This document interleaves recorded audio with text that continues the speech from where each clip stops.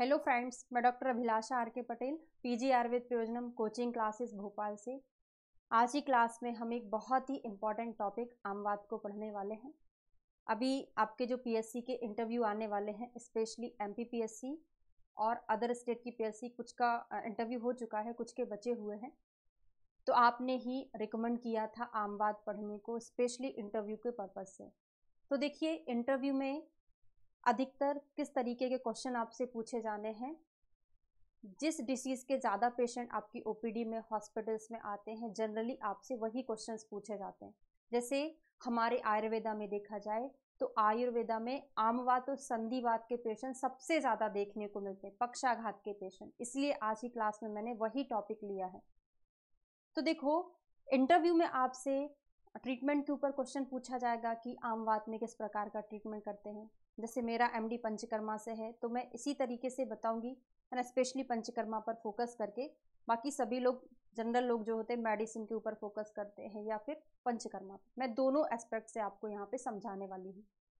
तो देखिए treatment direct हमको याद नहीं करना, क्योंकि हमारा जो आयुर्वेदा होता है, वो किस एस्पेक्ट पे काम करता है, किसी भी डिसीज़ पर, उसकी संप्राप्ति पर काम करता है। सिम्टोमेटिक ट्रीटमेंट नहीं किया जाता। यहाँ पे क्या किया जाता है? दोषों का ट्रीटमेंट किया जाता है। ठीक है? मॉडर्न साइंस क्या होता है? सिम्टोमेटिक ट्रीटमेंट करता है। तो ट्रीटमेंट समझने के लिए सबसे पहले हमको उसकी संप्राप्ति समझनी पड़ेगी। किस तरीके से इसमें दोषों का प्रकोप हुआ? निदान परिवर्जन, एक ट्रीटमेंट आता है तो आगे जाके हम उसका निदान परिवर्जन देखेंगे कि आम बात क्या क्या कारण है, किन से होता है और किन चीज़ों का त्याग कर देंगे तो नहीं होगा। ठीक है? तो सबसे पहले इसकी संप्राप्ति समझना बहुत ज़रूरी है। तो इंटरव्यू की सारी क्लासेस हमारे ऐप पर अभी चल रही हैं। पीजी आयुर्वेद प्रयोजनम हमारा ऐप है, जिसको आप प्ले स्टोर पर जाकर डाउनलोड कर सकते हैं और आपको वहाँ पर ये सारी पीडीएफ जो मैं आपको अभी पढ़ा रही हूँ, ये सारी अवेलेबल हो जाएँगी। चलिए शुरू करते हैं। तो आमवात जो है, आयुर्वेदा में बहुत ज़्यादा इंपॉर्टेंट इंपॉर्टेंट कहें तो बहुत ज़्यादा प्रॉब्लम होती है लोगों को और आयुर्वेद में आयुर्वेद ही एकमात्र ट्रीटमेंट होता है, क्योंकि मॉडर्न साइंस में इसके पास पेन किलर होती है और कुछ नहीं होता, है ना? तो आमवात होता कैसे? एग्जामिनर आपसे पूछेगा, आमवात की परिभाषा बताइए, ऐसा तो नहीं पूछेगा, लेकिन फिर भी मैंने टॉपिक को कंप्लीट करने के लिए आपको यहाँ पर डेफिनेशन लिख दी है, आप चाहें तो उसको याद करके सुना सकते हैं। मैं आपसे इस क्लास में प्रैक्टिकल बात करूँगी, है ना? तो आमवात होता कैसे है? आमवात वैसे दो शब्दों से मिलके बना है, एक आम और एक वात। इसका मतलब क्या हुआ कि यहाँ पे जो आम है, इसी का सारा लेना देना है आमवत में, है ना? तो आमवत दो शब्दों से मिलके बना होता है, एक आम होता है और एक वात होता है, ठीक है? तो जो आम होता है, मैंने आपको पहले ही बोला कि मैं आपको लिखाने के पर्पज से यहाँ पे नहीं पढ़ा रही हूँ। किस पर्पज से पढ़ा रही हूँ? आपको चीज़ें समझ में आना चाहिए, है ना? तो आम वात में आम है आम क्या होता है? जो आम होता है सिमिलर हमारे कफ के समान होता है है ना? मैं आपको ये बताना चाह रही हूँ यहाँ पे कि आम वाद स्पेशली ज्वाइंट्स में ही क्यों होता है ना? उसी की संप्राप्ति पढ़ रहे हैं हम।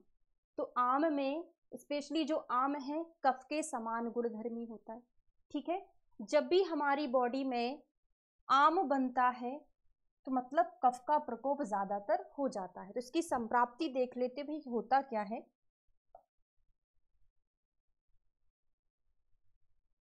Due to any kind of nidan sevan, that is especially viruddhahar, it can causes अग्निमांद और आप जानते हैं, जब भी हमारे शरीर में अग्निमांद होता है तो हम जो आहार विहार, आहार खाते हैं, वो पच नहीं पाता है, या आधा पचा रह जाता है। तो ये क्या करता है, हमारे शरीर में आम का प्रोडक्शन करता है। तो अग्निमांद से क्या होगा, आम का प्रोडक्शन होगा।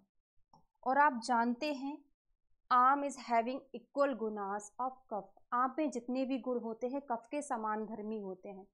तो कफ का स्थान क्या होता है हमारे शरीर में? स्पेशली हृदय है, आमाशय है, संधियाँ है है ना? इसीलिए आमवात जो है, ज्वाइंट्स पर होता है। क्यों होता है? क्योंकि आम में कफ होता है और कफ का ही स्वभाव होता है कि श्लेष्म स्थानों पर जाके रुक जाए। श्लेष्म स्थानों पर जाकर ही अपना स्थान संशय करता है है ना? तो आम में जो गुण होते हैं, वो कफ के जैसे होते हैं। और ये जो कफ है, कहाँ होता है स्पेशली? श्लेष्म स्थानों में होता है। फिर इस कफ को श्लेष्म स्थानों पर ले जाता कौन है? वो वायु ले जाता है। कैसे? वायु, वही आपने शारंगधर का एक श्लोक पढ़ा होगा। पित्तम पंगु कफा पंगु पंगो मल धातवा। वायु ना यत्र नियंते तत्र गच्छन्ति मेघवत। तो जो वायु है इस आम को कहाँ ले जाता है? श्लेष्म स्थानों की ओर ले जाता है और वहाँ पर स्थान संशय हो जाता है। जहाँ भी खावे गुण्य मिलेगा, स्थान संशय हो जाएगा। उसके बाद क्या होता है? आमवात के लक्षण होते हैं। तो देखिए, आपने समझा क्या कि हमने कोई भी निदान सेवन किया, उससे क्या हुआ? अग्निमांद हुआ। अग्निमांद होगा तो आम का प्रोडक्शन होगा। आम का प्रोडक्शन होगा। आम जो है कफ के समान धर्मी होता है। कफ इस आम को वायु जो है, कहाँ ले जाएगा? कफ स्थानों पर ले जाएगा और वहाँ पर आमवाद के लक्षण को उत्पन्न करेगा। अब हम इसके लक्षण देखेंगे तो हमको बिल्कुल संप्राप्ति से मिलते जुलते लक्षण मिलेंगे। क्या होते हैं? अंग मर्दो, ये श्लोक याद कर लेना, बहुत ज़्यादा इंपॉर्टेंट है, क्योंकि आमवाद संधिवाद पक्षाघात के चिकित्सा सूत्र आपको टिप ऑफ़ टंग रटे होना चाहिए एग्जामिनर पूछेगा। तो क्या है? अंग मर्दो, अरुचि, तृष्णा, आलस्यम, गौरवम, जरा ज्वर अपाका शून्यतम अंगानाम आम वातस्य लक्षणम। तो क्या हो रहा है? अमाशय में आश्रित हो रहा है ये कफ, संधियों में हो रहा है। तो जब अमाशय में आश्रित होता है, इसी कारण से हमको अविपाक के लक्षण मिलते हैं, अरुचि के लक्षण मिलते हैं, क्योंकि यहीं पर तो हमारा भोजन डाइजेस्ट हो रहा है ना? इसीलिए आम बात में ये लक्षण हमको प्रायोरिटी से मिलते हैं। या तो ऐसा कहें कि इसी कारण से संप्राप्ति उत्पन्न हुई और लक्षण भी इसी कारण से उत्पन्न हो रहा है। तो अरुचि मिलेगा, तृष्णा है, आलस्य गौरव, क्योंकि यहाँ पर कुल मिला के आम बढ़ रहा है। आम बढ़ रहा है मतलब कफ बढ़ रहा है। कफ बढ़ रहा है मतलब पूरे कफ के लक्षण हमारी बॉडी में मिलेंगे, ठीक है? अपा कहा, खाना नहीं पचेगा, शून्यता अंगा नाम। ज्वाइंट्स में क्या होगा? स्वेलिंग होती है। क्यों होती भाई? क्योंकि कफ जो है, आम जो है श्लेष्म स्थानों पर पहुँच जाता है, वहाँ पे श्लेष्म स्थानों पर स्वेलिंग उत्पन्न कर देगा, ठीक है? हमारा जो स्पेशली टॉपिक है वो क्या है? चिकित्सा को समझना ट्रीटमेंट को समझना। थोड़ा सा मैंने मॉडर्न का लिखा हुआ है। मॉडर्न का उतना ज़्यादा आपको समझना नहीं, बस थोड़ा सा ही देखना है कि मॉडर्न में इसको हम रोमेटाइड अर्थराइटिस से कोरिलेट कर सकते हैं। स्पेशली ये जो होता है स्मॉल जॉइंट से शुरू होता है स्पेशली स्मॉल जॉइंट्स में ही रहता है।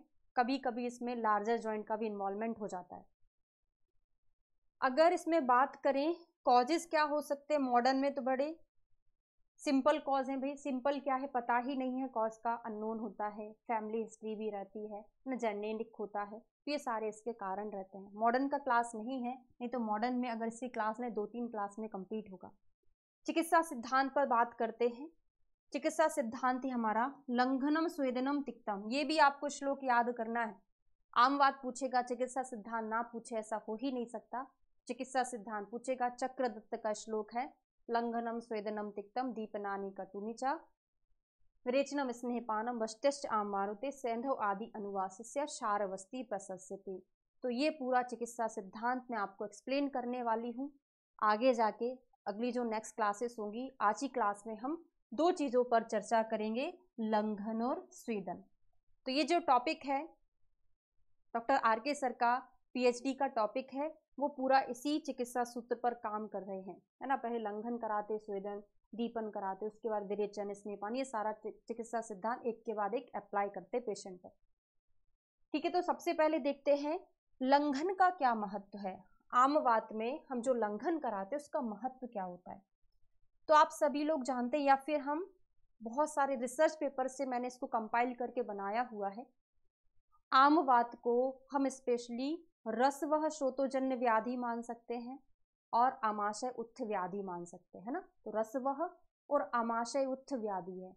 आप जानते हैं कि जितने भी रसज विकार होते हैं, रस प्रदोषज विकार में आपने एक चिकित्सा पढ़ा होगा। क्या पढ़ा होगा? हाँ। चिकित्सा सूत्र क्या है? सर्वलंघनम औषधम, है ना? रस जानाम विकारणाम सर्व लंघनम औषधम। सभी रसज विकारों में लंघन कराना चाहिए, क्योंकि जो रसज विकार हैं, वो बहुत ज़्यादा कफ के समीप होते हैं, है ना? और आमाशयुक्त व्याधि में भी आपने चरक चिकित्सा स्थान में पढ़ा है कि जितनी भी आमाशयुक्त व्याधि हैं, उनमें एक रामवाल ट्रीटमेंट होता है लंघन, है ना? तो रसज विकार, चाहे आमाशयुक्त विकार हो, इनमें लंघन बहुत ज़्यादा इंपॉर्टेंट होता है। अब इसका लंघन का महत्व तो क्या होता है? तो देखिए मैंने सब कुछ लिखा है, आप यहाँ से पढ़ सकते हैं, मैं आपको प्रैक्टिकली समझा रही हूँ, है ना? तो लंघन, जैसे आमाशय में अग्नि क्या होगी? मंद होगी है ना? अगर हम भोजन करते रहेंगे तो अग्नि को और मंद करते रहेगा। लंघन क्या होता है? आपने लंघन किया मतलब आपने कुछ नहीं खाया। इसका मतलब ये हुआ कि आपकी अग्नि अभी फ्री है तो वो दीप्त होती जाएगी। क्यों दीप्त होती जाएगी? क्योंकि अब उसके ऊपर कोई वर्डन नहीं पड़ रहा। तो लंघन करने से जो अमाशयुक्त अग्नि है, वो दीप्त होती रहेगी। अगर अग्नि दीप्त होगी तो जो आपकी बॉडी में आम बना था, जिसने आम बात उत्पन्न किया था, उस आम को पचाएगी। आम को पचाएगी, साथ ही साथ जो आम इधर उधर स्रोतो अवरोध कर दिया था, उस स्रोतो अवरोध को भी हटाती है। तो लंघन क्या कर रहा है? अग्नि को दीप्त करेगा आम को पचाएगा, आम पचेगा तो जो वाद के, जो स्रोतस में अवरोध हुआ था, वो स्रोतो अवरोध घट जाएगा। इस कारण से आम का लक्षण जो है मतलब आमवाद में काफ़ी हेल्पफुल रहता है लंघन।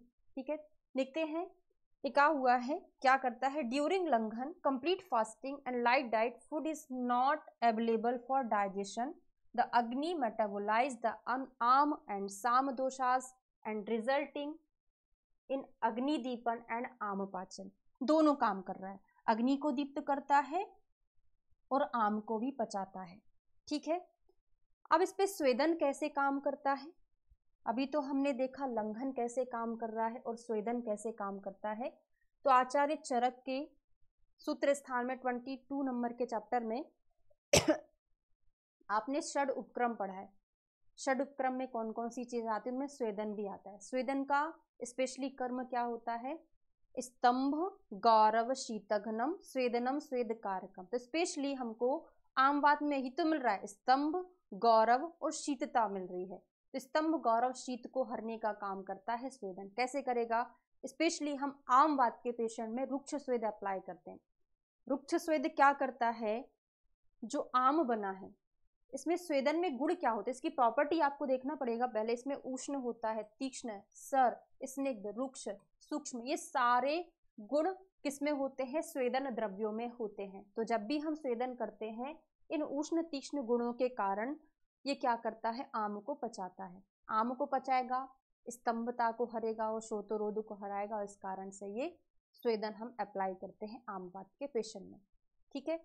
तो आज ही क्लास में मैंने आपको स्नेहन एंड स्वेदन का इफ़ेक्ट पढ़ाया आमवाद की हमने पूरी संप्राप्ति देगी किस तरीके से आमवाद उत्पन्न होता है है ना? क्लास अगर आपको समझ आ रही है अच्छा लग रहा है तो एक बार मुझे कमेंट करके ज़रूर बता दीजिएगा कि आपके इंटरव्यू के पर्पज से इनफ है कि नहीं है है ना?